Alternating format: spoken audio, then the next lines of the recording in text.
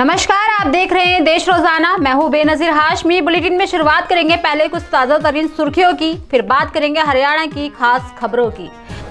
W के पूर्व अध्यक्ष ब्रिजभूषण सिंह को दिल्ली हाईकोर्ट से फ़िलहाल नहीं मिली कोई राहत।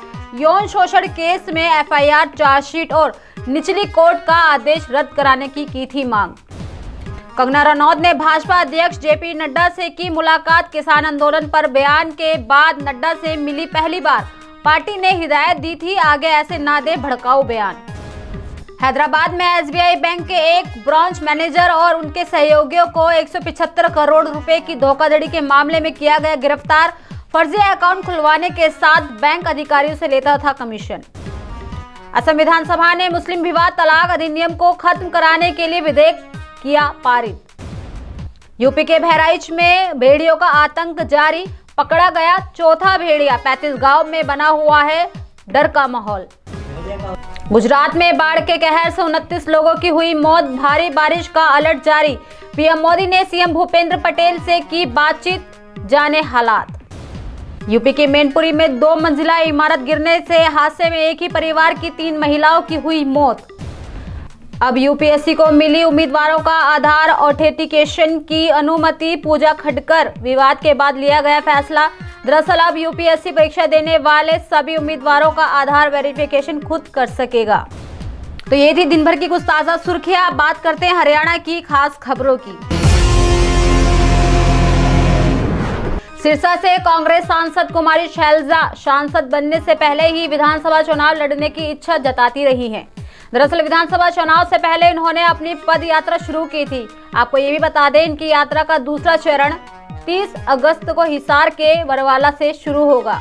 शैलजा ने कहा कि मैं विधानसभा चुनाव लड़ना चाहती हूँ और इस बारे में पार्टी हाईकमान से अनुमति लूँगी। साथ ही उन्होंने कहा, मैं पहले से ही कह चुकी हूँ कि मैं विधानसभा चुनाव लड़ने में इच्छुक हूँ। मैंने ये लोकसभा चुनाव से पहले ही कह दिया था और हाईकमान के आदेश पर ही मैंने लोकसभा चुनाव लड़ा था और अब भी हाईकमान की अनुमति हुई तो विधानसभा चुनाव ज़रूर लड़ूँगी।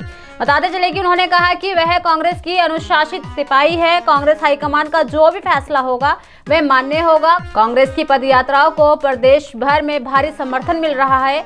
हरियाणा में कांग्रेस की सरकार बनानी है तो कांग्रेस मज़बूत होकर जनता के हक के लिए लड़ाई लड़ेगी।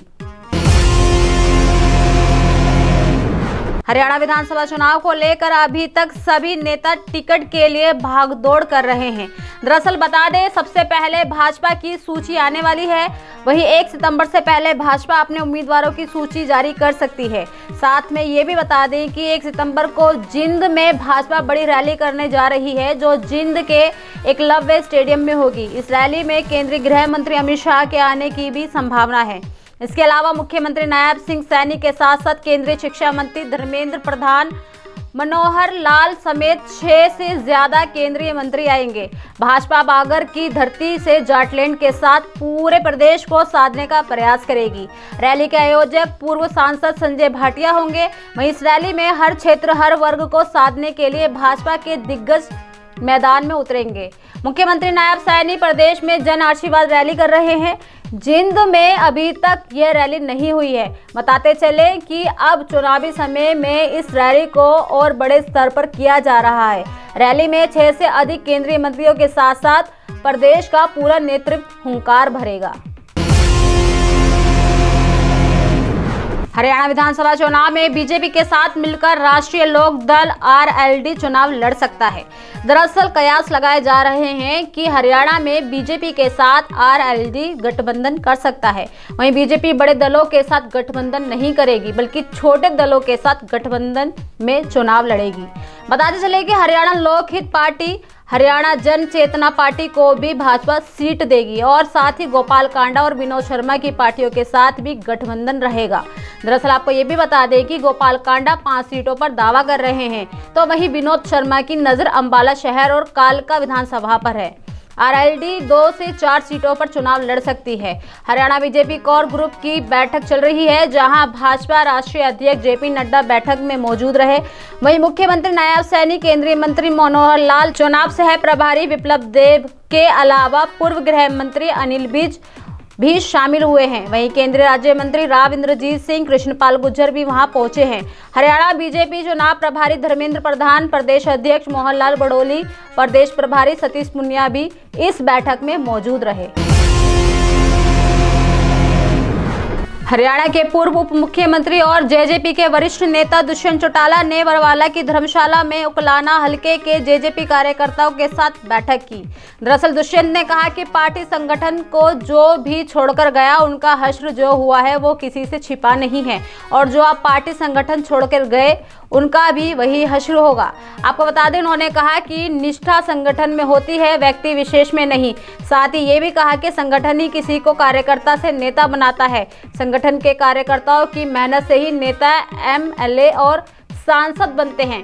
बताते चले कि उन्होंने कहा कि पिछली बार भी यहाँ से कार्यकर्ताओं ने जेजेपी का विधायक चुना था और इस बार भी कार्यकर्ता ही अपनी मेहनत के दम पर उकलाना से चाबी के निशान पर चुनाव लड़ने वाले व्यक्तियों को अपना विधायक बनाकर विधानसभा में भेजेंगे।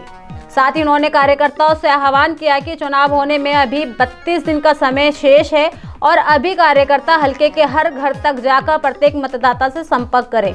दुष्यंत चौटाला ने कहा कि जो लोग पार्टी संगठन को धोखा देकर गए हैं, उनके लिए पार्टी में भविष्य में भी कोई जगह नहीं होगी। और ऐसे लोगों को पार्टी कार्यकर्ता भी हमेशा याद रहे। बीजेपी की मंडी से सांसद और मशहूर अभिनेत्री कंगना रनौत किसान आंदोलन पर दिए गए विवादित बयान पर अब शिरोमणि अकाली दल के अध्यक्ष सिमरनजीत सिंह मान ने एक बेहद विवाद वाला बयान दे दिया है। दरअसल सिमरनजीत सिंह मान के बयान के बाद राजनीति में हलचल मच गई है। बता दें, सिमरनजीत सिंह मान ने कंगना रनौत को लेकर कहा कि कंगना रनौत को बलात्कार का बहुत अनुभव है। दरअसल किसान आंदोलन के संदर्भ में कंगना रनौत की टिप्पणी पर प्रतिक्रिया देते हुए समरजीत सिंह मान ने कहा कि मैं ये नहीं कहना चाहता, लेकिन कंगना रनौत को रेप का बहुत अनुभव है और आप उनसे पूछ सकते हैं कि रेप कैसे होता है, ताकि लोगों को समझाया जा सके कि रेप कैसे होता है। तो ये थी दिन भर की कुछ ताज़ा सुर्खियों के साथ हरियाणा की खास खबरें। कल फिर होगी मुलाकात, ऐसी ही खास खबरों के साथ। तब तक के लिए बने रहिए हमारे साथ और देखते रहिए देश रोज़ाना। नमस्कार। हमारे साथ जुड़े रहने के लिए सब्सक्राइब करें देश रोज़ाना के यूट्यूब चैनल को और नई वीडियो की नोटिफिकेशन पाने के लिए बेल आइकन ज़रूर दबाएँ। अगर आप ये वीडियो फेसबुक या इंस्टाग्राम पर देख रहे हैं तो पेज को लाइक और फॉलो ज़रूर करें और ज़्यादा से ज़्यादा शेयर करें